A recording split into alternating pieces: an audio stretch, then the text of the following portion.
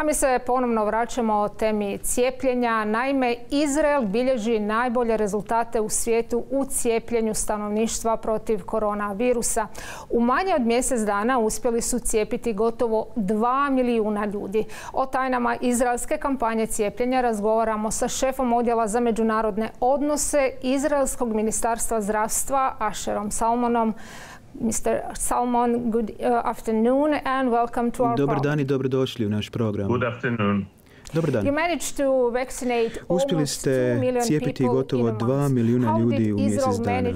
Kako je Izrael uspio cijepiti tako veliki postotak uh, populacije u tako kratkom vremenu?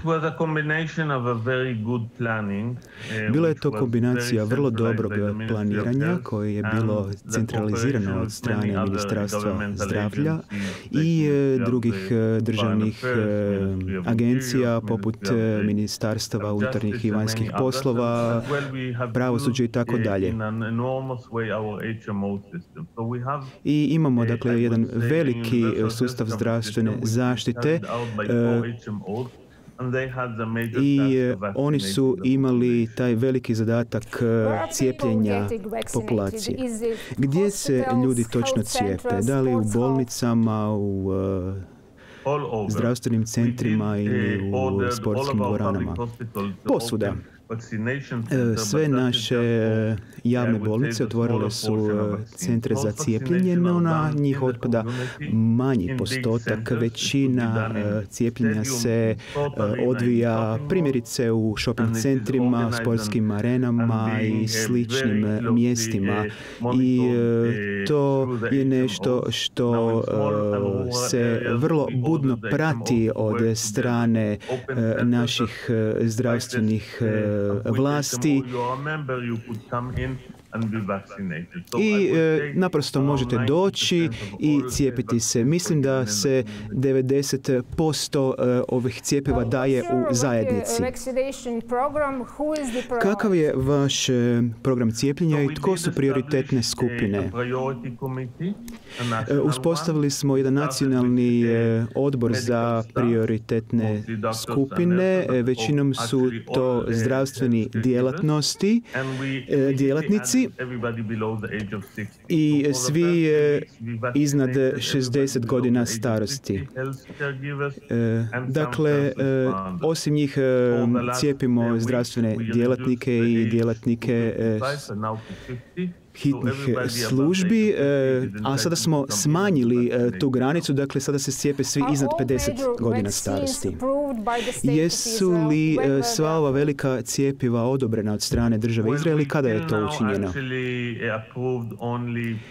Za sad smo samo odobrili Pfizerovo i Modernino cijepivo. Oba ta cijepiva odobrili smo tri dana nakon što ih je odobrila američka agencija agencija e, za hranu i ljekove. I mislim da ćemo sljedeće cijepivo odobriti e, ono Astra Zeneke u sljedećih nekoliko tjedana. Ima li nekakvih ozbiljnih nuspojava koje ste primijetili? Imamo mm, jedan registar na nacionalnoj razini u kojem vodimo evidenciju o nuspojavama i čini se za sad da je cijepivo vrlo sigurno. Nismo imali nikakvih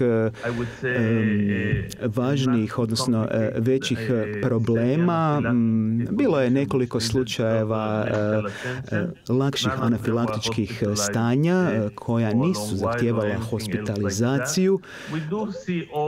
Osim toga,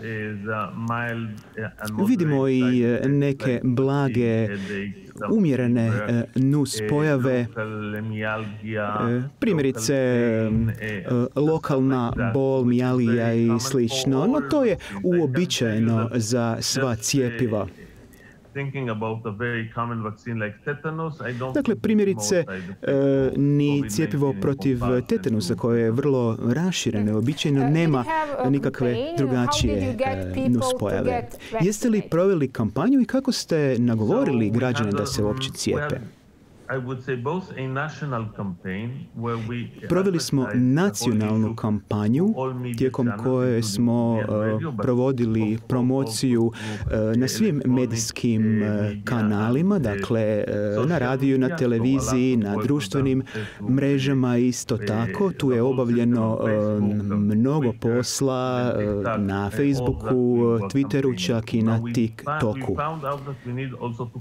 No, otkrili smo i da se moramo usredotočiti na specifične zajednice, primjerice zajednice ortodoksnih židova i slično. I tu smo morali tražiti druge načine da bismo potaknuli ljude da se cijepe. Je li cijepljenje zakonski obvezno? Ako nije, postoje li nekakve posljedice za one koji se ne cijepe, odnosno koji se odbijaju cijepiti. Ne, kao i u svim eh, demokratskim zemljama, cijepljenje nije zakonski obvezno, sve ovisi o dobroj volji i razumijevanju eh, građana. Dakle, mi ne potičemo ljude na agresivan način da se cijepe. Mislim da će glavna prednost biti kada otvorimo kulturna i shopping mjesta I tu ćete morati e, možda pokazati da ste cijepljeni ako želite ući. E, ta se rasprava vodi u brojnim zemljama, no mislim da će biti nekih jasnih pravila za međunarodno putovanje. Mislim da će zrakoplovna industrija zahtijevati cijepljenje u budućnosti. A ne, neke zemlje će možda tražiti e, od turista koji žele ući u njihovu zemlju potvrdu o cijepljenju. No mislim da e, svi shvaćaju da e, necijepljenje ima cijenu i mislim da će to ohrabriti ljude da se cijepe. Ali da kako i dalje postoji taj antivakserski pokret i s time ćemo se isto tako morati nositi. Ne nužno na pravni, zakonski način, nego ćemo se morati u javnosti boriti da smanjimo takav osjećaj.